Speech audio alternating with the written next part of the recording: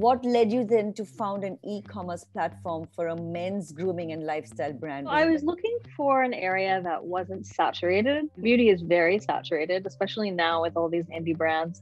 And men's grooming is very new that's why. But now i feel like it is saturated. Now i feel like we're going in this direction of gender neutral brands derm and derm brands which are more powerful. So now i'm focused on beauty tech retail tech going back to the e-commerce platform what is a key difference between selling products for men and selling it for women? Fundamentally men's skin is thicker than women's. So they need you know different products more potent products.